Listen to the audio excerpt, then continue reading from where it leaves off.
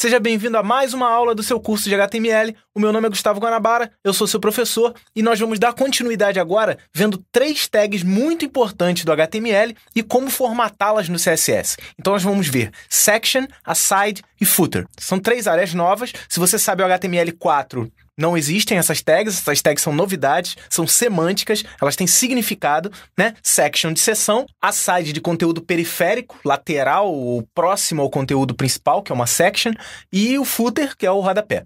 Mas antes de começar a aula, eu quero dar uma dica muito importante para você que está precisando de um emprego.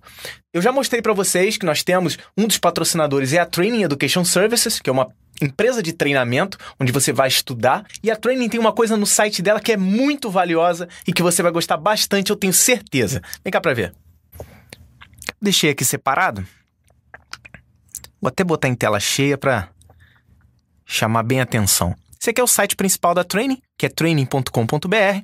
E aqui, ó, você vê que aqui tem a área de cursos, onde você pode acessar o curso que você quiser para você se especializar e tudo mais. Mas uma coisa que você pode não ter percebido é aqui, ó, dá uma olhada nisso.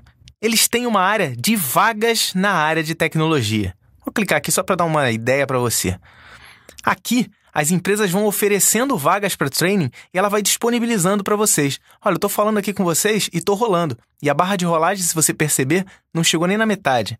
Eu vou rolar mais rápido para você entender. Tudo isso são vagas no mercado para pessoas como você, que estão na área, estão precisando de emprego ou até mesmo melhorar o seu próprio emprego. E chegou ao final? Dá uma olhada nisso aqui. Só por hoje, no momento em que eu estou gravando essa aula, nós temos 49 páginas. Se quiser mais, você pode vir aqui para a próxima. E aqui tem mais vagas para vocês. Maneiro, né?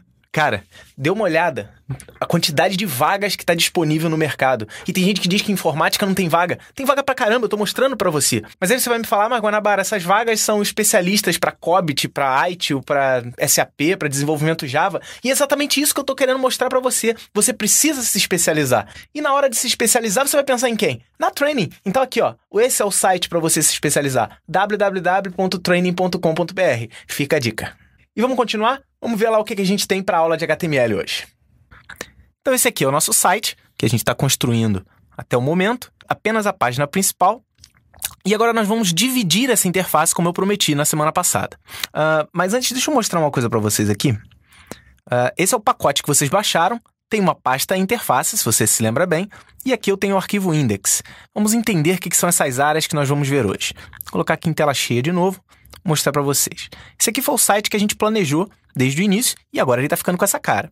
Se você perceber aqui, nós temos uma área, que é a área da esquerda, que vai até o vídeo, né? O que você pode fazer com Google Glasses. Aqui, ó, aqui embaixo, logo após o vídeo, existe uma quebra e o conteúdo vem para cá para cima. Esse aqui é uma barra lateral que eu tenho, que é um conteúdo relativo a esse conteúdo da esquerda, porém está posicionado na direita por ser um conteúdo secundário. E aqui embaixo eu tenho um rodapé, que é o Copyright 2013 by Gustavo Guanabara, um link para o Facebook e um link para o Twitter. Então, essa é a divisão que a gente vai ter que fazer hoje. Vamos começar por essa área aqui, a principal delas.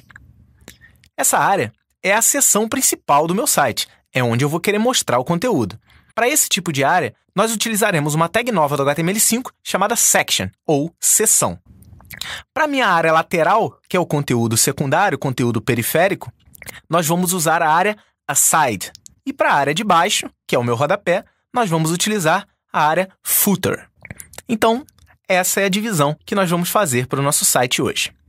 Ok? Beleza? Então, a gente tem três áreas para definir hoje: a section, a side lateral e o footer, que é a parte de baixo. Então, vamos ver como a gente faz isso no HTML por enquanto. Então, esse é o nosso código do index HTML e nós temos aqui, desde o fim do cabeçalho até o vídeo, que fica logo após o que você pode fazer com Google Glasses. Então, daquela linha, vou mostrar o número da linha aqui mais uma vez. Show line numbers. No meu caso aqui, da linha 29 até a linha 67, eu tenho uma seção que é aquela que vai ficar do lado esquerdo. Então, eu vou vir aqui na minha linha 29, não sei se na sua vai ser, mas logo depois do fechamento do header, eu vou abrir uma section. E essa section eu vou dar um identificador que eu vou chamar de corpo. Então, tudo que estiver entre section e barra section vai ser a seção do corpo. Então, o barra section eu vou colocar, como já havia dito, agora aqui na minha linha 69. Note aqui que o meu editor da JetBrains já faz uma linha indicando onde começa e onde vai terminar a minha seção. Como já tínhamos combinado anteriormente, essa parte lateral nós vamos utilizar a tag aside e vamos dar um ID, vou chamar de lateral. Então, tudo que estiver entre aside e barra side vai ser a minha conteúdo lateral. Por fim, eu tenho meu rodapé. Meu ID vai ser rodapé. Lembre-se de não utilizar acentuações para isso, nem espaços. Tudo que estiver entre footer e barra footer vai ser o meu rodapé. Viu como é simples? Então nós acabamos de dividir o nosso documento HTML em três áreas. A área principal, que vai ser minha seção, a área lateral, que vai ser minha side, e a área de baixo, que vai ser meu footer. E aí você pode estar pensando, pô, Guanabara, basta isso para que a divisão seja feita? Não é tão simples assim. Vamos ver como é que funciona isso. Vou salvar esse documento e vamos voltar ao navegador e atualizar o site. Note aqui que nenhuma mudança vai ser notada. Nada aconteceu visualmente. Isso porque nós não trabalhamos ainda com os estilos. Então vamos voltar aqui e vamos abrir o estilo CSS e vamos formatar todas essas áreas que acabamos de criar. Logo abaixo do meu menu, eu vou fazer a configuração da minha section, que se chama corpo. Essa section corpo, a primeira coisa que eu vou fazer é dar um display block para ele ser mostrada como um bloco e vou definir a largura dela. Width. Vou colocar de 600 pixels. Vou também fazer a configuração do meu aside lateral e vou também dar um display block e configurar a largura para 400 pixels. Vou salvar o documento e atualizar o meu navegador. Agora, eu tenho meu conteúdo na lateral e tenho o meu aside já do tamanho correto. Porém, aqui, ó, o meu conteúdo está do lado esquerdo, mas o meu aside não está do lado direito. E aí vai entrar mais uma configuração muito importante das CSS para todos os objetos que estão configurados como display block, o float. Se você tem um conhecimento mínimo de inglês, sabe que a palavra float significa flutuar. Então eu vou fazer com que minha section corpo flutue pelo lado esquerdo e a minha lateral flutue pelo meu lado direito. Muito simples, né? Mas você tem que lembrar do seguinte: para usar o float, você tem que estar com os objetos configurados para serem mostrados em blocos. E assim eles vão poder flutuar um do lado do outro. Vamos dar uma olhada, vamos ver se funcionou. Salvando meu documento e atualizando. Ele ainda está meio desconfigurado. Isso porque ele está meio acavalado aqui. Eu vou dar uma diminuída na largura do meu corpo principal. Botar aqui 400 também, inicialmente. Depois eu configuro com mais detalhes. Pronto, agora nós temos o conteúdo. Vou dar uma diminuída no meu aside. Vou botar 350 para eu poder aumentar o meu corpo. Vamos atualizar. Eles ainda estão muito colados. Vou dar uma diminuída discreta aqui no meu conteúdo. Vou botar 500 de largura. Salvar. E ao atualizar, agora nós temos um conteúdo dividido em dois. Mas aí nós temos um outro problema. A parte está vazando da interface. Isso porque o conteúdo termina no rodapé e esse rodapé ainda não foi configurado. Vamos voltar a CSS e fazer a configuração do meu rodapé. Então eu tenho um footer que tem uma identificação como rodapé, sem acento, lembrando. E vamos fazer o seguinte: como eu tenho uma seção flutuando à esquerda e um conteúdo periférico flutuando à direita, o meu footer vai ter que limpar toda essa divisão que foi feita. Então eu vou colocar clear both. Isso é, limpe a configuração dos dois lados e vamos ver o resultado. Esse Clear Both vai fazer com que esse conteúdo seja mostrado fora dessa divisão. Atualizando, agora nós temos a interface completa e temos o rodapé no lugar correto. Beleza? Teu site está ficando quase pronto. E aí vem um negócio muito importante que eu já falei para vocês várias vezes. Quando o seu site ficar pronto, só você vai poder ver. Ou então, só quem tiver no seu computador vai poder ver. Mas, Guanabara, como é que eu coloco esse site na internet? É fácil. Você vai ter que ter um servidor de hospedagem. E na hora de escolher um servidor de hospedagem, eu já deixo a dica aqui embaixo. É o site da Hostnet. Então aqui, ó, www.hostnet.com.br, você vai criar uma conta, você vai ter que comprar um domínio, você vai ter que pagar uma hospedagem. É pequenininho o valor quando você está com um site básico. É pequenininho mesmo o valor, você vai nos planos mais simples. A Hostnet tem planos em cloud computing agora, né? Então, desde o mais simples, para quem, para você que está começando a criar o seu site agora, até a galera mais complexa que tem um site de infraestrutura, a necessidade de infraestrutura, a necessidade de configuração, a Hostnet tem isso tudo.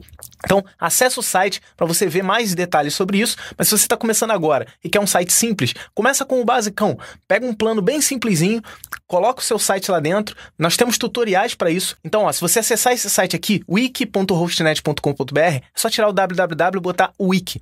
Lá vão existir vários tutoriais que vão mostrar para você como é que você cria o seu domínio, como é que você hospeda o seu site, como é que você usa o FTP. Eu vou mostrar isso no curso, mas é um pouco mais para frente, mas você pode ir lá direto no wiki da Hostnet, que já tem os tutoriais prontos. Então, fica a dica aí para você ter o seu site, esse que está ficando quase pronto, você já pode colocar na internet e mostrar para todo mundo o que você está fazendo. Vamos continuar agora? Então vamos criar as divisões, as linhas que vão dividir os componentes da minha interface. Então voltando aqui, nós vamos fazer o seguinte. Na minha seção do corpo, eu vou fazer uma linha lateral apenas do lado direito. Então aqui, eu tenho meu site, eu quero que a minha section tenha uma linha do lado direito. Ou então eu posso fazer com que meu aside tenha uma linha do lado esquerdo. Mas como eu tenho a minha section indo do início ao fim, eu vou utilizar ela para configurar a linha. Então vamos criar uma borda. Para criar borda, eu posso usar o border. Porém, como eu quero utilizar uma borda do lado direito, eu posso usar o parâmetro border right. No border right, eu vou ter que indicar três parâmetros. Primeiro, a largura de um pixel, que é a espessura da linha. Que tipo de linha nós vamos ter? Então a gente tem a opção de dotted, temos a opção também do dashed, que é o riscado, e temos a opção do solid, que nós vamos utilizar aqui. E por fim, a cor da linha, nós vamos utilizar aquele nosso cinza ligeiramente discreto. Salvando e atualizando. Note que eu usei as mesmas técnicas para criar essa borda aqui, e agora eu vou criar uma borda aqui. Ele apareceu colado no conteúdo, isso porque nós temos um padding a configurar. Vamos colocar aqui no meu section. Eu vou ter um padding. Pode ser um padding right. De 15 pixels. Vamos ver qual é o resultado. Uma aumentadinha de uns 20 pixels aqui na largura. E agora nós temos a interface dividida nas minhas duas áreas até o fim. Falta agora uma linha aqui no rodapé. Então nós vamos fazer com que o meu rodapé tenha um border top, uma borda em cima, né? Também de um pixel, também sólida e também da mesma cor. Atualizando. Agora nós temos a interface definida. Vou fazer aqui com que o meu rodapé fique centralizado. Lá no meu HTML ver como é que ele está. Então vou fazer com que o parágrafo dentro do meu rodapé fique centralizado. Vamos até o CSS. E vou fazer com que no footer chamado rodapé, tudo que for parágrafo vai ter um text align centralizado. Salvando e atualizando, o rodapé já está centralizado. Vou só criar uma quebra aqui entre o Gustavo Guanabara e o Facebook e Twitter. Criar um, um break row aqui. E agora nós temos a interface. Eu já mostrei para você como é que cria esses dois links. Vamos ver aqui. Vamos fazer logo esses links. HTTP, não se esqueça, para links externos tem que ter o HTTP. facebook.com cursos em vídeo. Curtam lá na página. Aproveita que a gente está fazendo isso aqui na aula. Dá uma curtida lá na página do, do Facebook do curso em vídeo. Fazer a mesma coisa para o Twitter. Lembre-se que para mim tanto faz eu dar esse enter ou não, porque ele não vai fazer a quebra, para o HTML não importa. E o Twitter também, cursos em vídeo.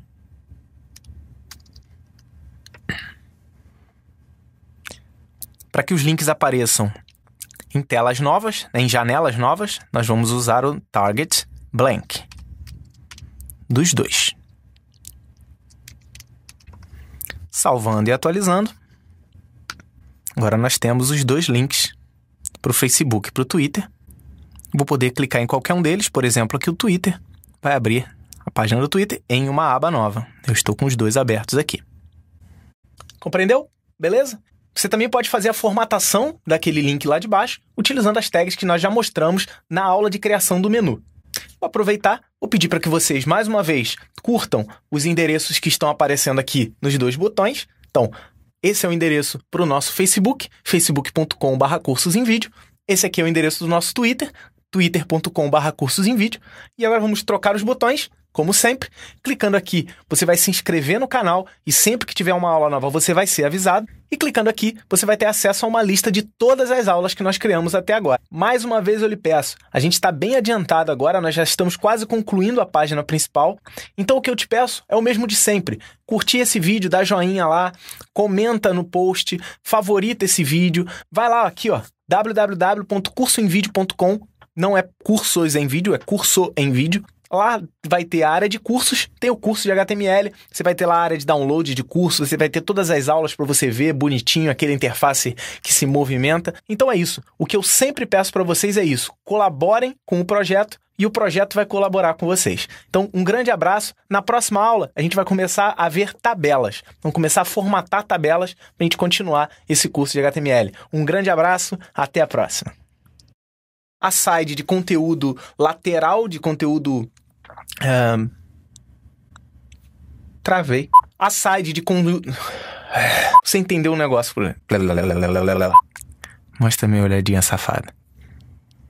Maneiro, né? E na hora de se especializar. Você... E na hora de se especializar. E na hora de se. E vamos continuar? Vamos ver aqui. E vamos continuar? Eu parei no mesmo lugar. Mas vai ter que ser assim. e vamos continuar? Vamos lá, eu não consigo fazer.